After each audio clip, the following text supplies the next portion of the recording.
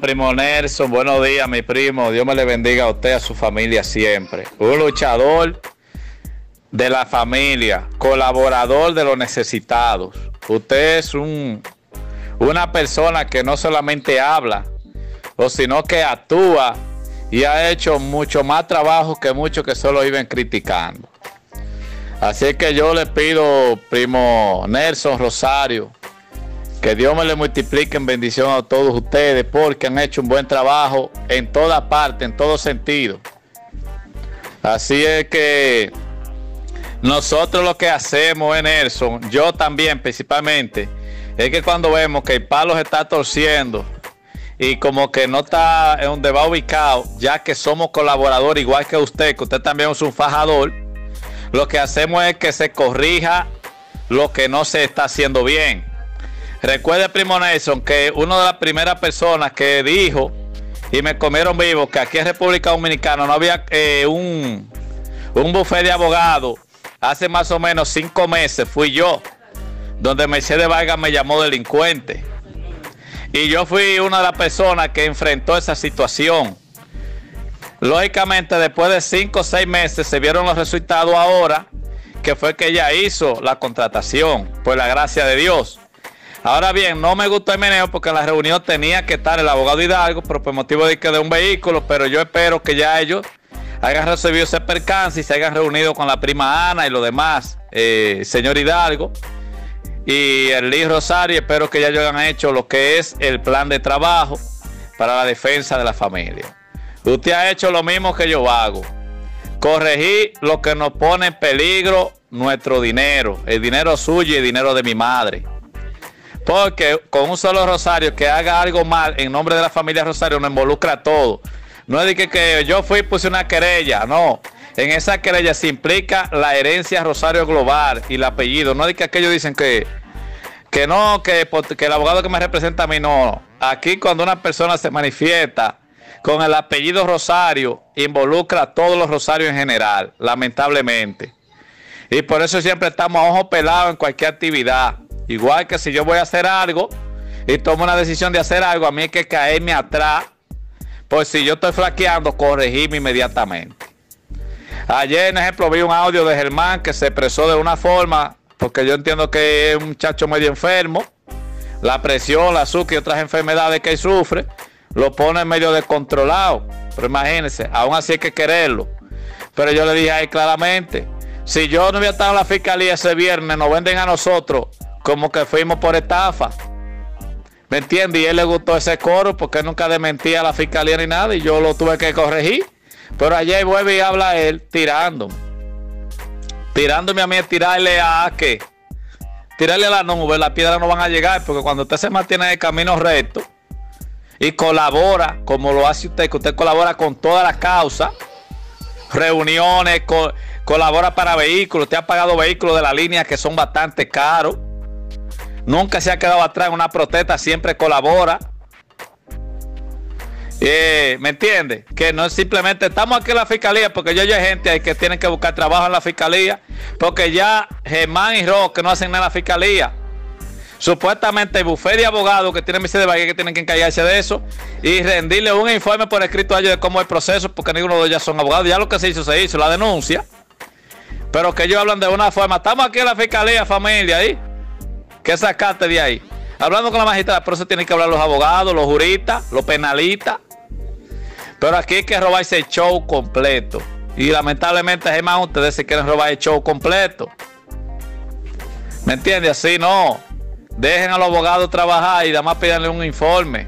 Y que se agilice esto. Otra cosa, cuando yo dije que por qué nada más tenía que haber 15 denuncias, porque después que uno comente fría, reflexiona que habiendo ahora 300 o 500 denuncias, están trabajando por cada persona, a lo implicado que se implican a partir de inspector hacer un expediente por malhechor, por cómplice de banda de malhechores. Pero nada, dejémoslo ahí. Buenos días, Primo Nelson. Bien hecho. Para adelante, mi hermano. Familia Rosario, muy buenos días. Desde la ciudad de Orlando, tu primo Carlos Rosario. Hoy, jueves 29 de octubre del año 2020 un día más esperando Lo único que ya la espera tiene fecha. Qué maravilla. Hoy me quiero dirigir a un grupo olvidado, un grupo que nosotros hemos omitido su existencia y que nosotros hemos omitido lo que ese grupo ha perdido en todo esto. Eh, habemos muchas personas acá que hemos perdido tiempo, hemos perdido cantidades de dinero y situaciones similares, pero los prestamistas, los eh, coordinadores, esas personas han perdido mucho en esto, familia. Entonces, esas personas que son las que han sido el eje, que han eh, sostenido todo esto, que son las personas que a las que la familia le debe que hoy día se puede hablar de esto porque sustentaron económicamente esto. Son los que nosotros ahora tenemos que motivar a que apoyen a la familia una vez más y que vayan a la fiscalía.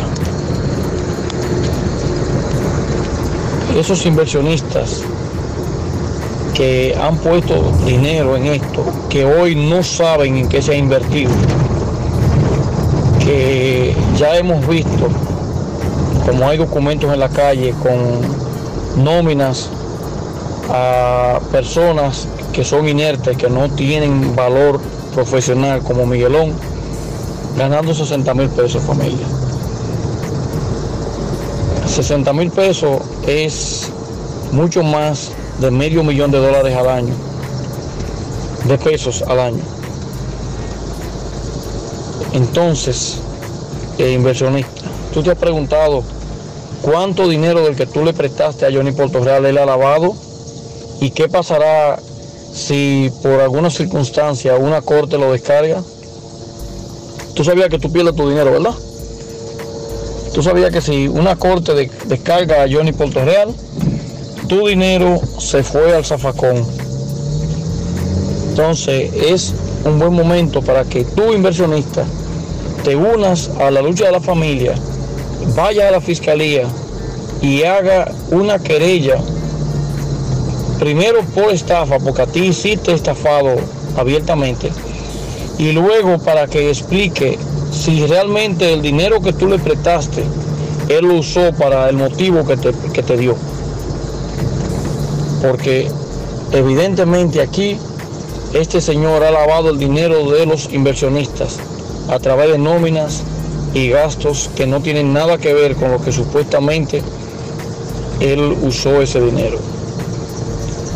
Ayer escuchaba a nuestro pana full de long time y delincuente abogado decir que él eh, fue rico de cuna, pero las evidencias eh, difieren a lo que él dice, porque si era rico de cuna, ¿qué hacía metido en un banco robando? Eh, yo no, me explico. Si era rico de cuna, ¿por qué carajo andaba haciendo actos delincuenciales para conseguir dinero? Eso yo no me entiendo. Y si es rico de cuna, ¿por qué carajo engañó a estos pobres inversionistas vendiéndole historias eh, y vendiéndole situaciones que todos sabemos que son mentiras? Así que inversionista, es tu momento. Coordinador, es tu momento porque es muy posible que si Johnny Real es descargado, los inversionistas pierdan su dinero y es muy posible que si Johnny Real es declarado culpable y la familia recupera a través de este intento que estamos haciendo hoy todo lo que se necesita, entonces los coordinadores sirvieron de nada por lo tanto, no hay ningún tipo de compromiso con ellos. Que de hecho yo soy de los que creo que los coordinadores son una figura más inventada en esto para darle dimensión a una estafa. Bendiciones y buenos días.